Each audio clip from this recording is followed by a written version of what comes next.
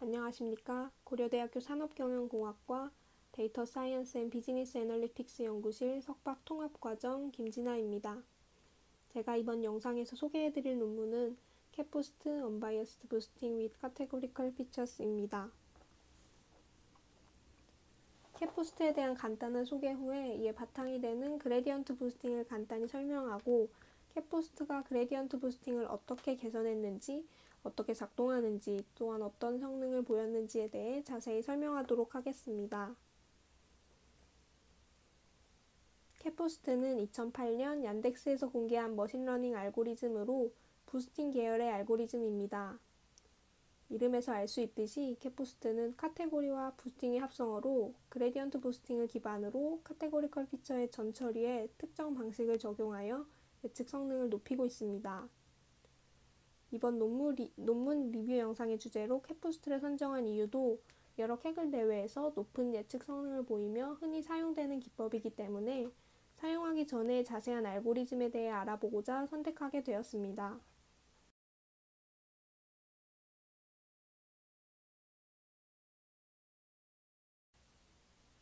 CatBoost의 중요한 알고리즘적 advance로는 boosting 방법에 있어서 새로운 방식인 ordered boosting을 제시했고 categorical feature 처리에 있어 새로운 방식을 적용했습니다. 그렇다면 gradient boosting에 대해 간단하게 소개하고 gradient boosting이 어떤 statistical한 이슈를 가지는지에 대해 알아보겠습니다.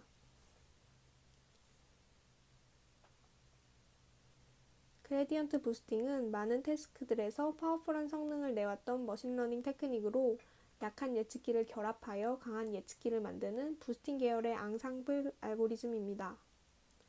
이때 boosting은 모델을 순차적으로 생성합니다. 모델 1을 만든 후 그 정보를 바탕으로 모델 2를 만들고 다시 그 정보를 바탕으로 모델 3를 만듭니다.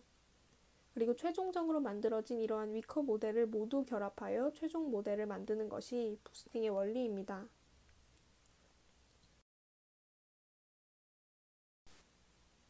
gradient boosting에서의 순차적 학습은 화면에 보이는 식에 의해 이루어집니다.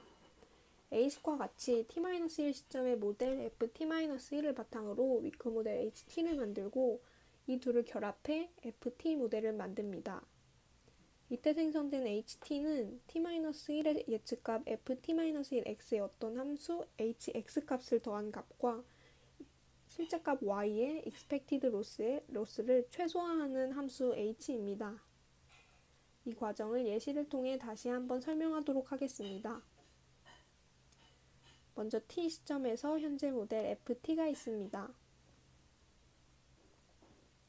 이제 아래 A식에 의해 FT가 예측하지 못한 것에 대해 추가하여 예측하는 어떤 H 중에 이 두 모델에 의한 예측값의 합과 실제값 Y의 로스를 최소화시키는 H를 HT 플러스 1로 만들어줍니다.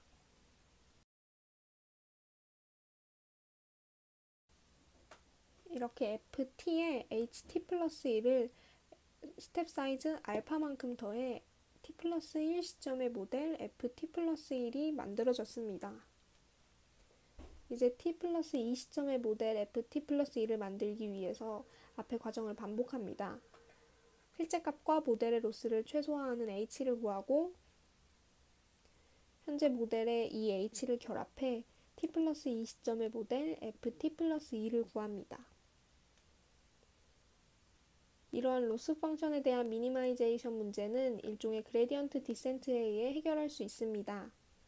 loss function을 ft-1x로 미분한 gradient의 음수값 negative gradient는 loss function의 값이 작아지도록 ft-1x가 가려고 하는 방향입니다. 따라서 1번식과 같이 이 negative gradient를 가장 잘 예측하는 hx를 ht로 선택해야 합니다. gradient boosting을 각 단계의 residual을 예측하여 전체 loss를 줄이는 알고리즘이라고도 하는데 이 이유가 3번식과 4번식에 나와 있습니다. 3번식과 같이 loss function으로 squared error를 쓰는 경우 4번식에서 같이 loss function의 negative gradient는 residual의 의미를 갖습니다. 따라서 각 단계에서 gradient를 근사하는 h를 찾는 gradient boosting은 residual을 예측하는 H를 과, 찾는 과정이라고 말할 수 있습니다. CatBoost 이전에 존재하던 gradient boosting 기법들은 몇 가지 statistical한 이슈들을 가지고 있었습니다. negative gradient를 근사하는 h를 구하기 위해서 실제 x, y에 대한 negative gradient와 h의 차이에 대한 expectation이 필요한데 이때 모든 가능한 x와 y를 가지고 있지 않기 때문에 이 기대값을 보통 이미 가지고 있는 트레이닝 데이터를 이용하여 추정하게 됩니다. 이때 각각의 단계에서 gradient를 구할 때 매번 같은 트레이닝 데이터를 사용하기 때문에 이에 대해서만 학습하게 되고 이로 인해 구해진 fxk는 실제 테스트 데이터가 주어졌을 때 fx와 같은 분포를 가지지 않, 않을 수 있게 됩니다.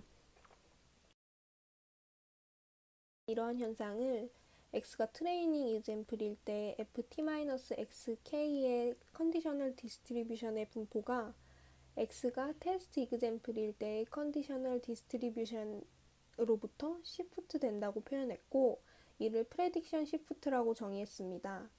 또한 이를 해결하기 위해 ordered boosting이라는 방안을 제시하였습니다. 두 번째 이슈는 categorical feature를 preprocessing 하는 데 있습니다. categorical feature들을 모두 one-hot encoding을 하면 높은 cardinality를 가지는 피처의 경우 이를 표현하기 위한 one-hot 벡터가 매우 많이 필요하므로 기존의 boosting 알고리즘들은 이러한 target에 대한 이들을 target에 대한 통계량, 즉 target statistic으로 대체하여 numerical variable처럼 취급할 수 있게 만들어 주었습니다. 아래 표를 예시로 들어 target statistic 계산을 해보도록 하겠습니다. 일단 카테고리 B에 속하는 instance는 단 하나이므로 이 instance의 TS는 그대로 10이 됩니다. 두 번째로 카테고리 A에 속하는 instance는 2번과 6번 두 개가 있고 이들의 타겟 값은 각각 15와 25이기 때문에 이들의 평균인 20으로 TS를 구하게 됩니다. 또한 C도 이와 마찬가지로 이들의 타겟 값의 평균 10으로 TS를 구합니다. 하지만 이런 target statistic은 예측 시점에서는 알 수 없는 타겟 값을 이용하고 있다는 점에서 문제가 됩니다. 이를 타, target leakage라고 하는데 이를 예측 모델이 예측값을 만드는 그 시점에 알 수 없는 데이터를 포함하고 있을 때 일어나는 데, 데이터 누수를 말합니다. TS도 target 값들에 대한 통계량이므로 이 자체로 간단한 통계 모델이기 때문에 target leakage를 주의해야 합니다. 따라서 이 논문에서는 이 두 가지를 해결하기 위해 ordering principle을 제안하고 있습니다. 이 원리를 기반으로 ordered boosting 방법을 도출해 prediction shift를 피하고 새로운 categorical feature processing 알고리즘인 오더드 TS를 적용해 기존 gradient boosting 알고리즘을 변형한 것입니다. 이 알고리즘은 CatBoost 라이브러리로 구현되어 있고 이 현존하는 XGBoost나 LightGBM 같은 gradient boost decision tree보다 다양한 머신러닝 task에서 더 좋은 성능을 냈습니다. 이렇게 다른 알고리즘에 비해 좋은 성능을 낼 수 있게 하는 CatBoost의 특징인 categorical feature 전처리와 ordered boosting을 중심으로 발표를 이어나가도록 하겠습니다.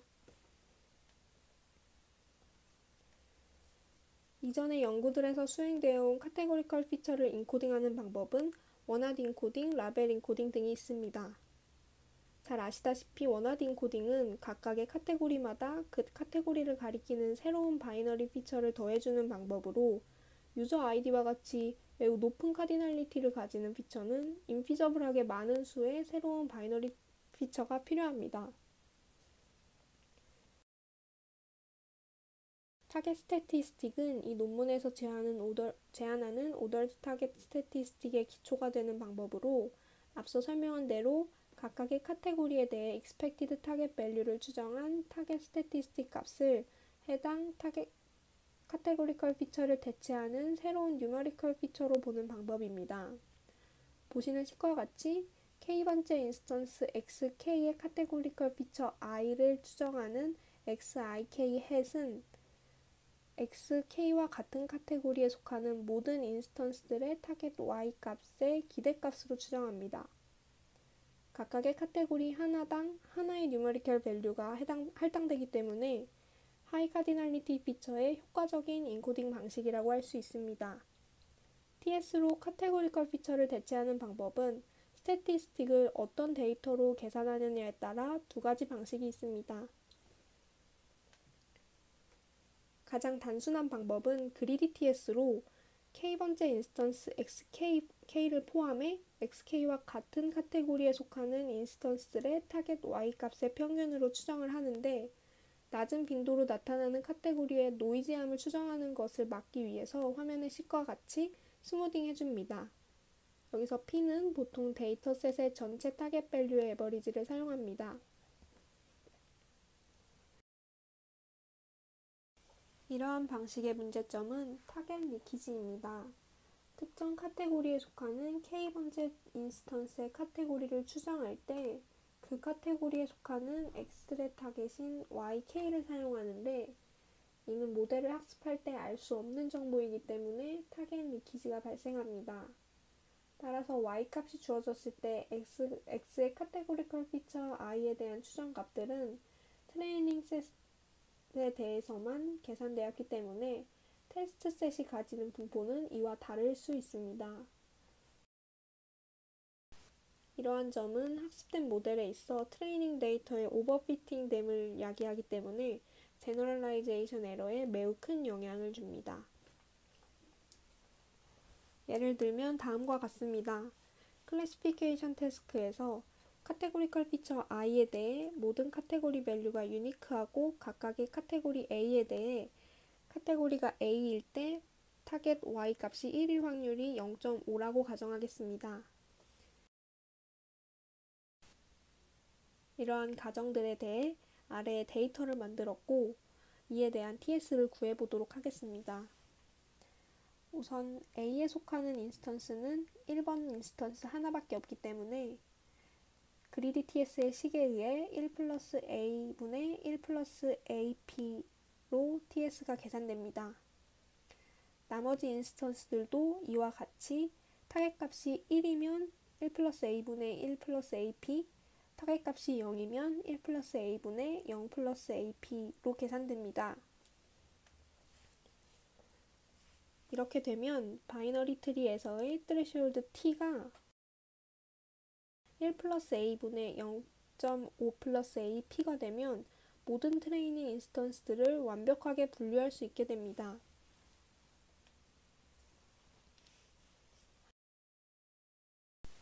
하지만 test instance들은 가정에 의해 greedy TS를 모두 0.5로 가지며 얻어진 모델은 threshold가 0.5보다 크면 모두 0으로 예측하고 그렇지 않으면 모두 1, 1로 예측하게 됩니다. 따라서 greedy TS 방법은 타겟 리키지에 의해 prediction shift가 일어나 트레이닝된 모델이 테스트 instance는 잘 예측하지 못하는 것을 알 수 있습니다. 이러한 문제를 피하기 위해 이 논문에서는 TS에 대한 property를 정의하였습니다. 이는 모든 트레이닝 example에 대해 타겟 값이 같을 때 트레이닝 instance에 대한 TS의 기대값과 테스트 instance의 TS 기대값이 같아야 함을 의미합니다. 앞에서 보았듯이 greedy TS의 경우 이 성질을 만족시키지 않습니다. 이러한 conditional shift를 피하는 방법 중에 general한 아이디어는 xk의 ts를 계산할 때 xk를 제외한 subset dk로부터 구하는 것입니다. xk의 ts를 계산하는데 자기 자신을 쓰지 않게 하는 방법 중 하나는 dataset을 두 부분으로 나눠 하나의 섭셋은 TS를 계산하는 데 쓰고 하나의 subset은 계산된 TS를 가지고 트레이닝하는 데 쓰는 것입니다. 이 방법은 property 1을 만족하지만 TS 계산에 쓰이는 데이터와 트레이닝에 쓰이는 데이터의 양이 크게 줄기 때문에 주어진 데이터를 최대한 사용할 수 없다는 단점이 있습니다.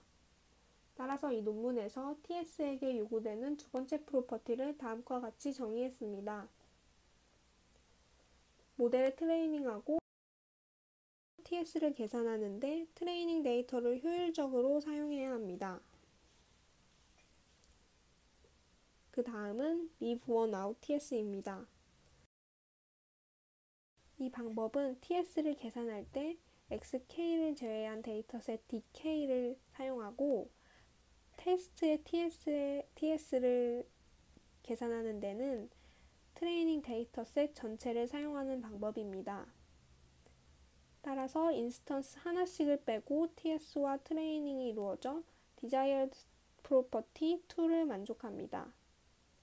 하지만 이 방법도 greedy TS와 마찬가지로 트레이닝 데이터는 완벽하게 분류할 수 있지만 테스트에서는 전혀 그렇지 못한 모델을 만들 가능성이 있습니다. 따라서 desired property 1을 만족하지 않게 됩니다. categorical feature를 numerical value로 추정하는 과정에서 타겟 리키지를 일어나지 않게 하기 위해 이 논문에서 제시한 방법은 오더드 TS입니다. 이 방법은 ordering principle을 적용해 TS를 구하는 방법인데 이는 트레이닝 example을 시간에 따라 순서대로 가져오는 온라인 learning 알고리즘에서 착안되었습니다. 각각의 instance들의 TS 값이 현 시점에서 이미 관측된 history로만 계산되는 것입니다. 이 아이디어를 시간 개념이 없는 오프라인 세팅에 적용하기 위해서 랜덤 permutation 시그마를 인공 시간으로 도입했습니다. 예를 들어 xk에 대한 ts를 계산하는 데 사용되는 dataset dk는 순열상에서 xk보다 앞에 있는 instance로 이루어집니다. test set에 대해서는 ts를 계산하는 dataset dk를 트레이닝 dataset 전체로 설정해 줍니다. 예를 들어 아래의 그림처럼 x5의 ts를 계산하기 위한 dataset d5는 순열상에서 x5보다 앞에 있는 x3, xn, xn-3, x8, x10으로 이루어집니다. 얻어진 오더, 오더드 TS는 타겟 리키지가 일어나지 않고 모델을 학습하는 데 모든 트레이닝 데이터를 사용할 수 있기 때문에 P1과 P2를 다 만족하게 됩니다. 이때 gradient boosting을 하는 동안 계속 같은 순열 하나만 사용한다면 이 순열에서 앞에 있는 instance들은 TS를 계산할 때 사용하는 데이터의 수가 적기 때문에 TS의 분산이 뒤에 있는 instance들의 TS 분산보다 커지게 됩니다. 따라서 CatBoost는 각각의 boosting 스텝에서 각기 다른 랜덤 순열을 생성하여 사용합니다.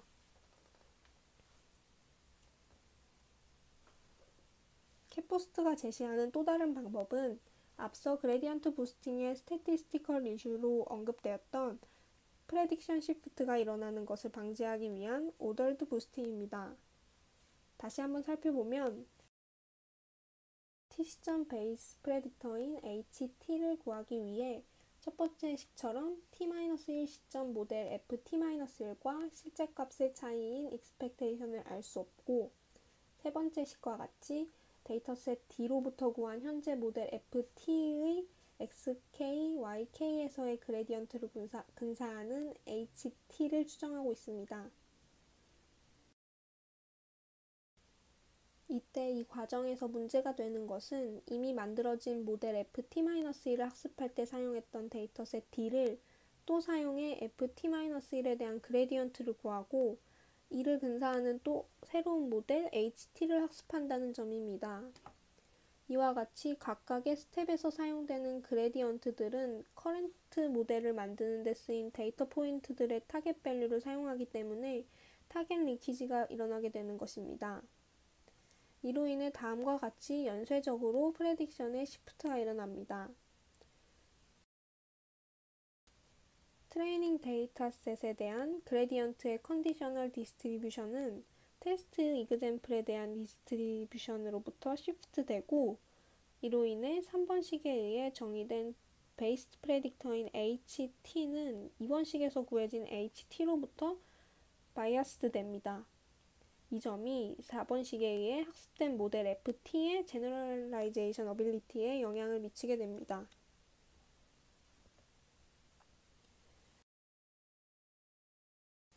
이러한 prediction shift를 막기 위해서 모델 ft 플러스 1을 구할 때 ft로부터 gradient t, x, k, y, k를 구해야 하는데 이때 FT를 트레이닝하는 과정에서 XK가 사용되지 않았어야 unbiased gradient I를 구할 수 있게 됩니다. 다시 말해 각각의 단계에서 gradient를 구할 때 이전 모델을 트레이닝하는 데 쓰인 dataset과 independent한 dataset을 사용하면 prediction shift를 피할 수 있게 됩니다. 간단한 실험을 통해 모든 트레이닝 instance XK에 대해서 unbiased gradient를 구하기 위해 이전 시점의 모델 FT-1을 트레이닝하는데 해당 instance XK를 사용하지 않는 상황을 살펴보도록 하겠습니다. X1의 unbiased gradient를 구하려면 모델 FT-1은 트레이닝 할 때 X1을 사용하면 안 되기 때문에 다음과 같이 아래 표에서 제거되었습니다.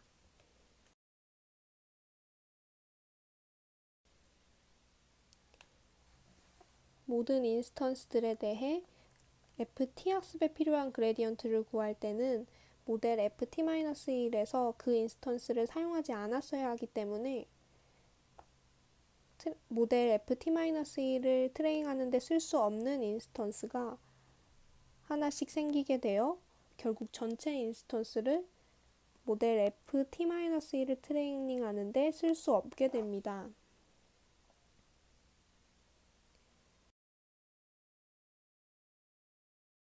다시 말해 모델 FT를 만들기 위해선 필연적으로 모델 FT-1로부터 모든 트레이닝 instance에 대해 unbiased residual을 필요로 하기 때문에 FT-1 트레이닝에 사용할 수 있는 트레이닝 instance가 남지 않게 됩니다. 만약, 만약 무한한 양의 트레이닝 데이터가 있다면 각각의 boosting 스텝에서 독립적인 새 dataset DT를 샘플링해서 현재 모델을 트레이닝하는 데 사용하지 않은 새로운 트레이닝 example을 이용해 unbiased residual을 얻을 수 있겠지만 현실에서 y-값을 가진 데이터는 한정되어 있어 단순 샘플링으로 겹치지 않는 dataset을 만드는 것은 불가능합니다.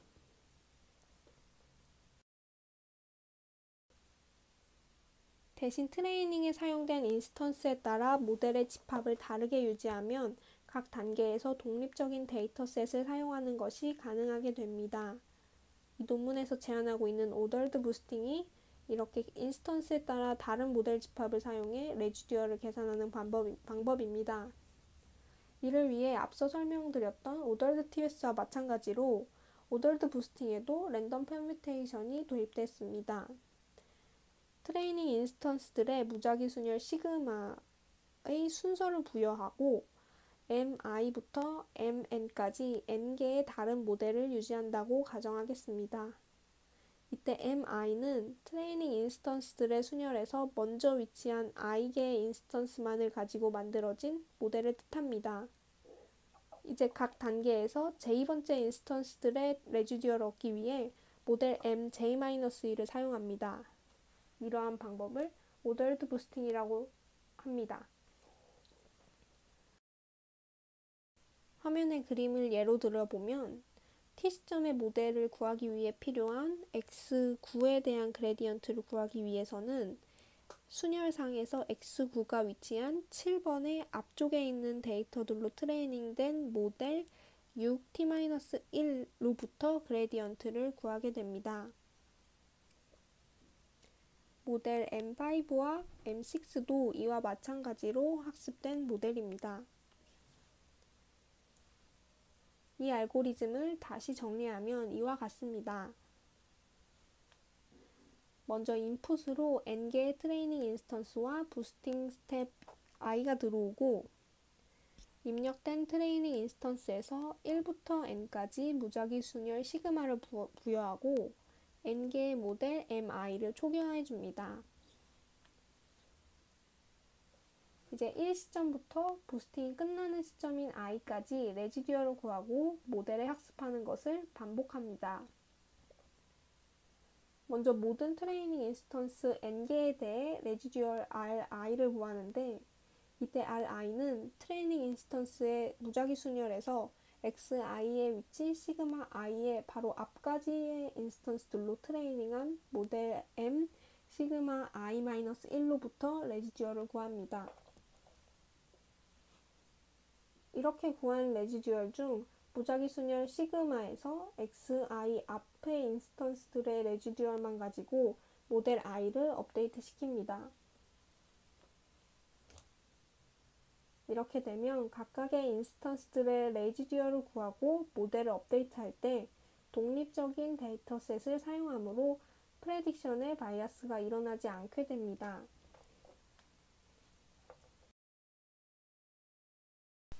이 논문에서 제시하는 ordered TS와 ordered boosting 각각 트레이닝 instance들에 대한 무작위 순열을 둘 다 사용하는데 이 두 가지 방식을 하나의 알고리즘으로 합칠 때 같은 순열을 사용하도록 설정해주고 있습니다. 이는 타겟 YI가 모델 MI를 트레이닝할 때 TS와 레, residual 계산 모두에 쓰이지 않는 것을 보장해줍니다. 이제 앞서 설명한 방법, 방법들이 CatBoost에서 어떻게 구현되는지에 대해 알아보겠습니다. CatBoost는 두 가지 boosting 모드가 있습니다. plain과 ordered로 구분되는데 전자는 기존의 gradient boost decision tree 알고리즘과 같고 categorical feature 처리에 있어서만 오더드 TS를 사용하는 방식입니다. 오더드 모드는 앞서 설명한 ordered boosting의 알고리즘 1을 적용한 방법입니다. CatBoost는 base predictor로 oblivious decision tree를 사용합니다. oblivious한 decision tree라는 것은 같은 splitting criterion이 트리의 모든 레벨에서 사용된다는 것을 의미합니다. 이러한 트리는 balanced 되었고 overfitting에 강하다는 장점이 있습니다. 또한 testing time을 significant하게 감소시켜줍니다. 그렇다면 트리를 만드는 전체적인 알고리즘에 대해 설명하도록 하겠습니다. 먼저 CatBoost는 트레이닝 데이터의 S 플러스 1개의 independent한 무작위 순열을 만듭니다. 주어진 퍼뮤테이션에서 xi가 앞쪽에 위치해 짧은 history, 즉 xi의 앞에 위치한 instance들이 적으면 estimate 하는 데 있어서 표본의 수가 작아지므로 TS를 계산하는 데 있어서나 ordered boosting에서 사용되는 prediction M 시그마 I-1 xi 둘 다 높은 분산을 갖게 됩니다.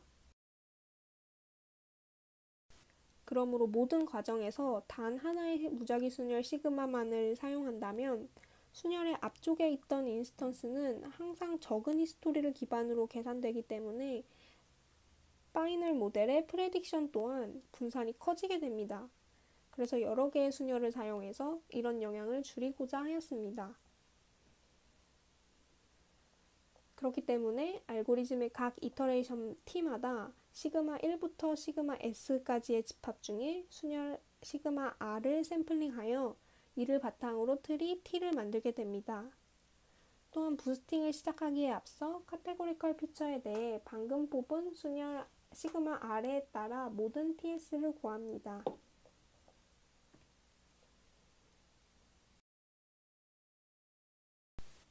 두 번째로 이 순열은 tree learning procedure에 영향을 줍니다. ordered boosting 모드는 학습 과정 동안 트레이닝과 gradient 계산의 독립적인 dataset을 사용하기 위해서 각각 다른 시그마 R에 대한 모델 MRJ를 유지합니다. 여기서 MRJ는 순열 시그마 R에서 앞 J개의 instance를 사용하여 트레이닝한 현재의 모델을 말하고 MRJ의 i번째 instance의 예측값을 MIJRI라고 표현합니다. plain 모드에서는 ordered boosting을 하지 않기 때문에 기존 gradient boosting과 같이 트레이닝에 사용되는 dataset에 구분을 두지 않고 gradient를 구합니다. 하지만 오더드 모드에서는 독립적인 dataset을 유지하기 위해 MRJ를 만들고 나서 그 다음 시점의 트리를 만들기 위해 모든 instance n에 대한 gradient r 시그마 i-1 i를 계산하여 저장합니다.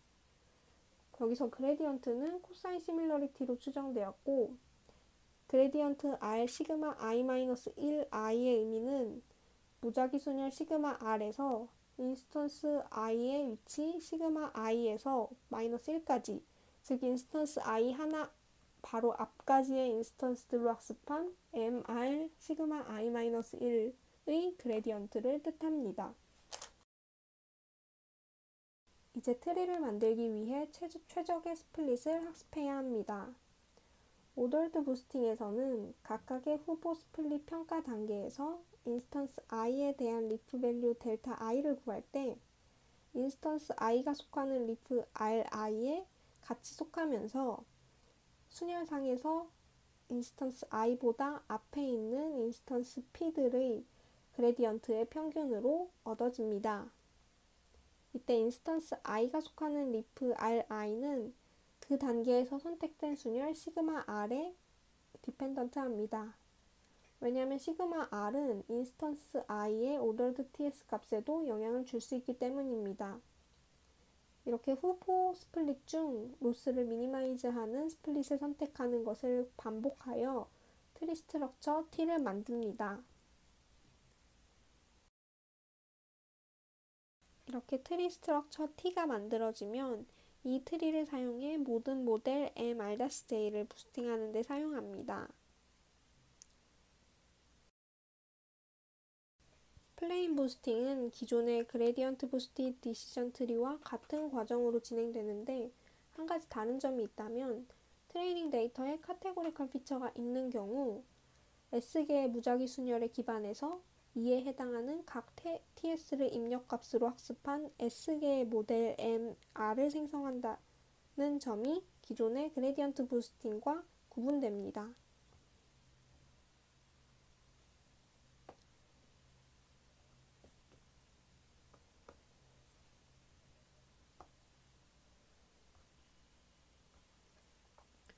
지금까지 CatBoost가 제시하는 기존 gradient boosting을 개선하는 방법에 대해 소개했습니다. 그렇다면 성능에 있어서 다른 boosting 방법 대비 개선이 있었는지 실험 결과를 통해 확인해, 확인해 보도록 하겠습니다. 실험은 Adult, Amazon, Click같이 잘 알려진 machine learning task들에 대해 수행되었고 그 결과를 XGBoost, LightGBM 같이 유명한 open source 라이브러리들과 비교하고 있습니다. 실험의 세팅은 다음과 같습니다. ordered boosting의 성능 비교를 위해 모든 learning 알고리즘은 CatBoost에서 제시된 오더드 TS 방법을 사용하여 categorical feature를 전처리해 주었습니다. 또한 파라미터 튜닝과 트레이닝은 80%의 데이터로 testing은 나머지 20%로 시행하였습니다. 성능을 평가하기 위해 사용된 매저는 로그로스와 제로원 로스를 사용하였습니다.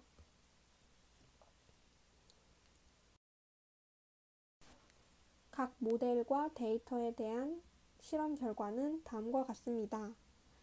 표에 나와 있는 값은 baseline인 CatBoost 대비 라이트 GBM, XG 부스트의 로그로스와 제로원 로스의 비율입니다. 따라서 이 값이 큰 양수를 가질수록 CatBoost 대비 loss가 크게 증가했다고 보시면 됩니다. LightGBM과 XGBoost 모두에서 모든 dataset에 대해 이 비교값이 양수인 것으로 보아 모든 경우에서 CatBoost보다 loss가 컸음을 알 수 있습니다. 따라서 CatBoost의 성능이 가장 좋음을 짐작할 수 있었고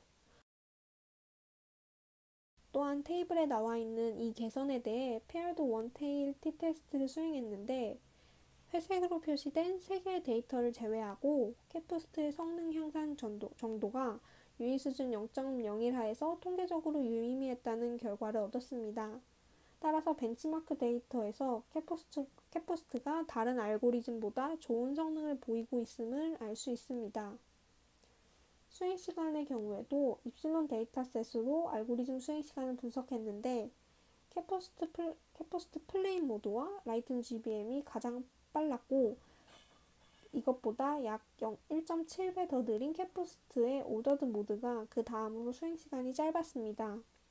따라서 CatBoost가 computational time 측면에서도 취약하지 않다고 말할 수 있습니다.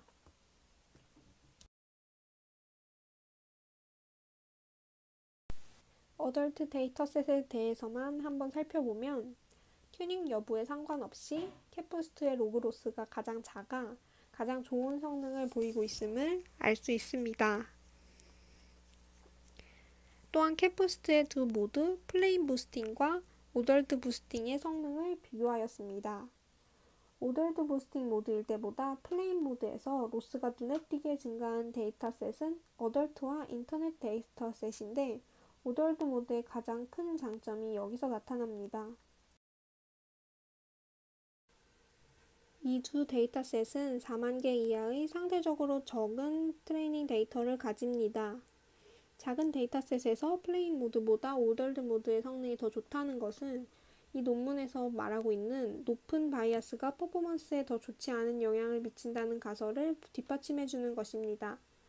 왜냐하면 작은 dataset은 데이터가 많지 않기 때문에 모델을 트레이닝 하는데 사용한 데이터를 다시 gradient를 계산하는 데 사용할 확률이 높고 따라서 bias는 작은 데이터셋에서 더 클 수밖에 없습니다.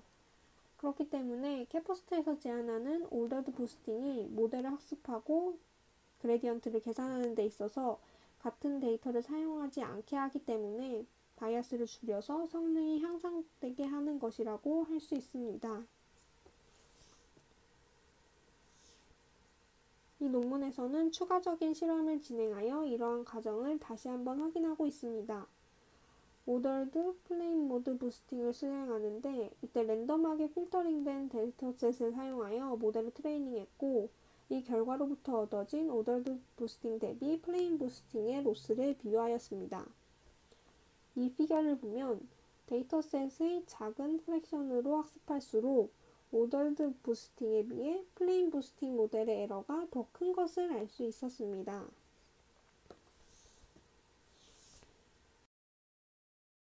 그렇다면 오더드 TS의 값은 categorical feature를 잘 추정하고 있는지 확인해 보도록 하겠습니다. 모든 알고리즘적 디테일은 같게 하면서 ordered boosting mode에서 greedy, holdout, leave-one-out 등 앞서 소개한 TS 계산 방법과 CatBoost에서 제안하는 오더드 TS를 사용하여 각각 TS를 구해보았습니다. 그리고 나서 각각의 TS로 대체한 데이터로 모델을 학습시켜 얻은 loss를 비교해보면 다음 표와 같습니다. ordered TS를 기준으로 각각의 loss의 값을 percentage로 나타낸 값입니다. 따라서 이 percentage가 양수로 높다면 아까와 마찬가지로 loss가 더 높다고 보시면 됩니다. 실험에 사용된 모든 데이터에서 오더드 TS가 나머지 3개의 TS 계산법보다 더 좋은 모델의 성능을 불러옴을 알 수 있었습니다. 초록색 박스에서 볼 수 있듯이 모델을 트레이닝하는 데와 gradient를 계산하는 데 같은 데이터를 전혀 쓰지 않는 holdout이 ordered TS를 제외한 3개의 방법 중에서 가장 좋은 성능을 보였습니다. 하지만 이 방법은 트레이닝 데이터, dataset을 효과적으로 사용하지 못하기 때문에 여전히 ordered TS보다는 성능이 떨어집니다. greedy와 leave-one-out을 비교해보자면 거의 모든 경우에는 leave-one-out이 좋았지만 빨간색 박스의 Adult 데이터에서는 각각의 ordered TS 대비 log loss가 1%, 0. 아, 5.5%로 그리디 TS의 로스가 더 적었는데 이 논문에서는 이 이유를 Adult 데이터의 categorical feature들은 각 카테고리의 빈도가 높은데 greedy TS의 방법은 낮은 빈도의 카테고리에 영향을 받고 leave-one-out은 높은 빈도의 카테고리에 영향을 받아 Adult 데이터에 있어서는 greedy TS 계산 방법이 더 좋았음을 주장하고 있습니다. 서로 다른 TS와 plain mode를 combine해서 실험, 실험을 진행했을 때도 이와 비슷한 결과를 얻었기 때문에 ordered TS의 효과를 일반화할 수 있게 됩니다. 오덜드 부스팅과 오덜드 TS 외의 CatBoost의 나머지 특징에 대해서도 성능을 평가한 결과가 간단히 제시되어 있습니다. 피처 컨비네이션의 경우 평균적으로 combine 될 수 있는 최대 피처 수인 Cmax를 1에서 2 사이로 할 때 log loss가 1.86% 정도 개선되는 성능 향상이 있었습니다. 이 Cmax를 1부터 3 사이로 하면 2.04까지 향상되었지만 3이 넘어가면 유의미한 성능 향상이 있진 않았습니다. 모델을 학습 모델을 학습할 때 사용하는 순열의 수 s도 평균적으로 s가 커질수록 log loss가 주, 조금 줄었습니다. s가 1일 때에 비해 s 3일 때 0.19%, s가 9일 때 0.38%의 성능, 성능 향상이 있었습니다.